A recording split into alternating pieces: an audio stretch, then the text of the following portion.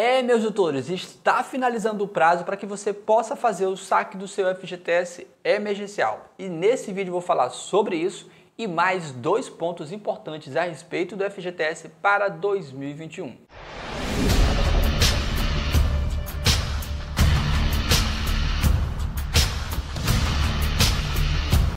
Seja bem-vindo ao canal Toro Equilíbrio, eu sou Charles sou Campos, contador e mentor financeiro.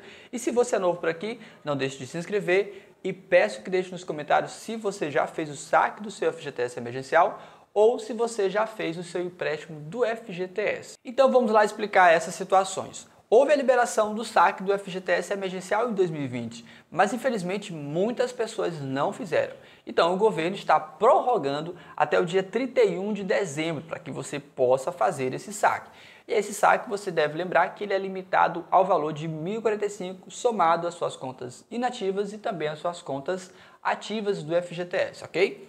É bem simples isso, até o dia 31 de dezembro você pode efetuar o saque do seu FGTS emergencial. E agora sobre os dois pontos importantes a respeito do FGTS para 2021.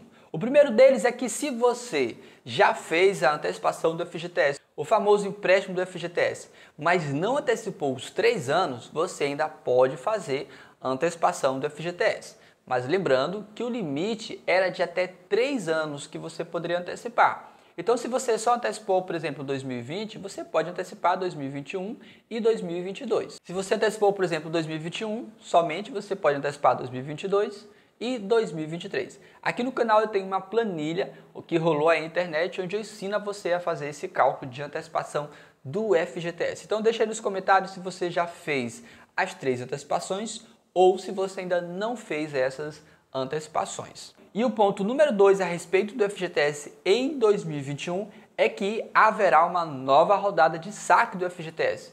Isso mesmo, o governo federal estuda aí fazer com que todos os trabalhadores que tenham dinheiro na conta ainda do FGTS possam fazer um famoso novo saque do FGTS emergencial. Mas lembrando que a ideia é que seja nos moldes de como foi feito o saque em 2020, ou seja, terá limites de valores e também deverá passar pelo Caixa Tem o temido Caixa Tem, que muita gente infelizmente não gostou dele. Mas outras tantas gostaram.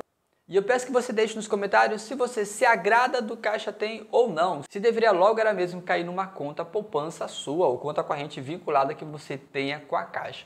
Então essas são as nossas orientações. Um grande abraço, doutor Equilíbrio e até um próximo vídeo.